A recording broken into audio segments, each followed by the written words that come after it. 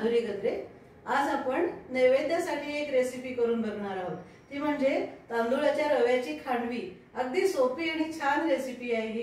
तर त्याची कृती आपण बघूया. साहित्य मी तुम्हाला डिस्क्रिप्शन बॉक्समध्ये देते. हे एक वाटी तांदूळ घेतलेत मी. आंबेमोहर तांदूळ आहेत हे. तुम्ही कुठल्याही वासाचा तांदूळ घेऊ शकता. एकशे चाळीस ग्रॅम आहेत हे. आता हे दोन पाण्यातून स्वच्छ धुवून घ्यायचे आपल्याला.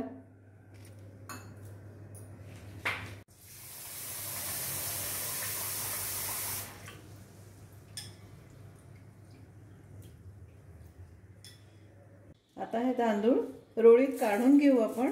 म्हणजे सगळं पाणी निघून जाईल त्यातलं. व्यवस्थित नितळले जातील तांदूळ. आता हे पाच मिनटं असेच ठेवू म्हणजे पाणी निघून जाईल त्याच्यातलं. आता या नॅपकिनवर काढून घेऊ आपण हे तांदूळ.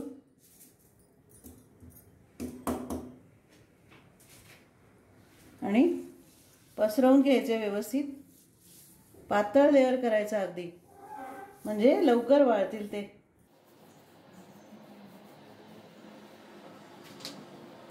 असे पसरवून घेतलेत मी हे तांदूळ. आता हे वाळायला दोन तास लागतील साधारण. तुम्ही हे रात्रभर पण ठेवू शकता वाळायला. कोरडे झाले पाहिजे. आता वेळ वाचवण्यासाठी हे तांदूळ मी आधीच दूध आणि व्यवस्थित वाळवून घेतलेत. तर आता मिक्सरच्या भांड्यात काढून घेऊ. आता याचा मिक्सरवर बारीक रवा करून घेऊ आपण. हे बघा हा असा बारीक रवा तयार झालाय छान.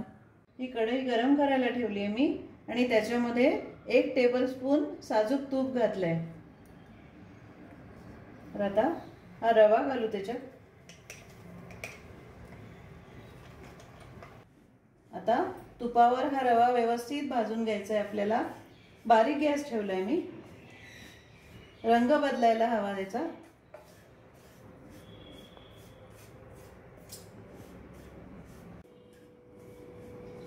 रवा भाजत असतानाच एकीकडे या पॅनमध्ये पाणी गरम करायला ठेवलंय मी. हे अडीच वाट्यांपेक्षा थोडं जास्त पाणी घेतलंय मी. हा तांदूळ माझा ना जुना आहे त्यामुळे पाणी जास्त लागतं. आणि जास्त पाणी झालं ना तरी ते आपल्याला आटवता येतं. पण पाणी जर कमी झालं ना तर तो रवा नीट शिजत नाही आणि दाताखाली अशी कच्चट कणी लागते त्याची. तेव्हा पाणी व्यवस्थित हवं आपल्याला. हा एक वाटी बारीक चिरलेला गुळ घेतलाय मी. एकशे वीस ग्रॅम आहे हा. तो घालते.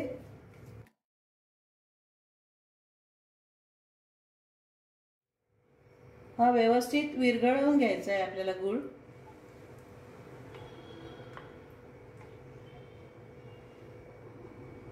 बारीक गॅसच ठेवलाय. हे अर्धा टीस्पून आलं घेतलंय मी किसून. ते घालते. मिसळून घ्यायचं व्यवस्थित.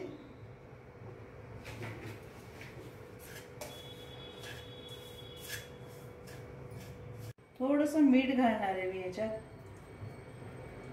गोड पदार्थ आहे ना त्यामुळे मीठ घातल्यामुळे चव वर येते त्याची. मिसळून घ्यायचं व्यवस्थित. थोडा भाजत आलाय हा रवा तर दोन टेबलस्पून हा खोवलेला नारळ घालते याच्यामध्ये.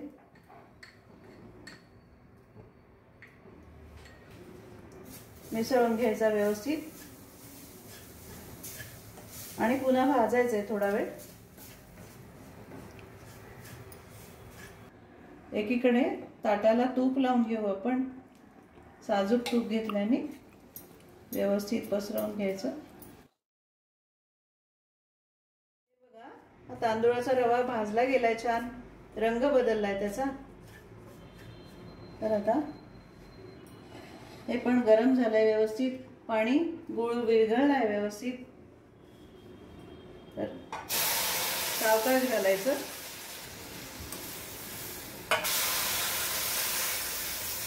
अंगावर उडू शकतं.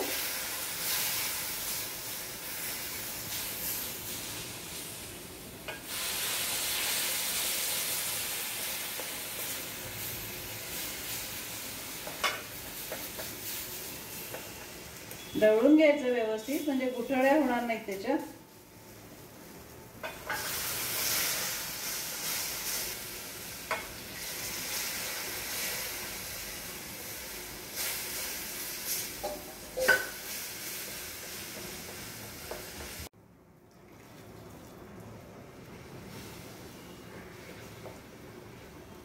गुठळ्या मोडून घेतल्यात मी.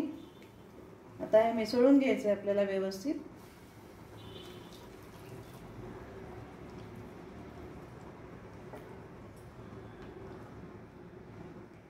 हे व्यवस्थित घोटून घेतलंय मी. या पळीच्या मागच्या बाजूनी असं घोटून घेतलंय गुठळ्या मोडल्या आहेत त्याच्यातल्या. आणि हे पूर्ण घट्ट करायचं आहे आता आपल्याला शिऱ्यासारखं. डवळत राहायचं. बारीक गॅस ठेवलाय. जायफळ अगदी वेळेवर किसून घ्यायचं आहे आपल्याला म्हणजे त्याचा वास शिल्लक राहतो. हे मिश्रण घट्ट झालंय आता तर अगदी शेवटी अर्धा टीस्पून जायफळ पूड घालते. छान येईल वास जायफळाचा. आणि अर्धा टीस्पून वेलची पूड घालते. ऐच्छिक आहे ही? मिसळून घ्यायचं व्यवस्थित. गॅस बंद करते.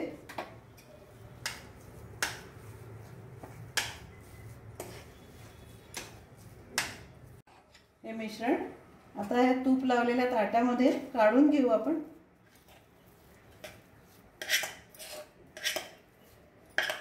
या वाटीच्या मागच्या बाजूला तूप लावून घेतलंय मी थोडं. तर या वाटीने आपण पसरवू म्हणजे चिकटणार नाही वाटीला. एकसारखं पसरलं जाईल.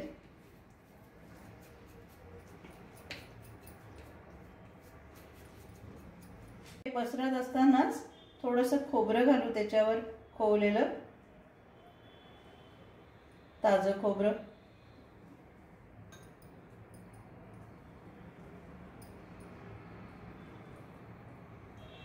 हे थोडे बदाम पिस्त्याचे काप करून घेतलेत मी. ते घालू त्याच्यावर. छान दिसतील त्यात.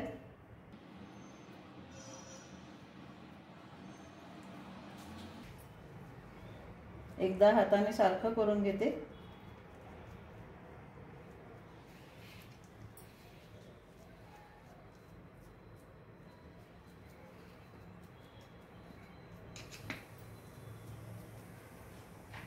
अजून व्यवस्थित गरम आहे हे. गार झालं की वड्या कापून घेऊ. हे गार होत आलंय आता. तर त्याच्या आता वड्या कापून घेऊ आपण. या सुरीला तूप लावून घेतलंय मी. म्हणजे चिकटणार नाही त्याला.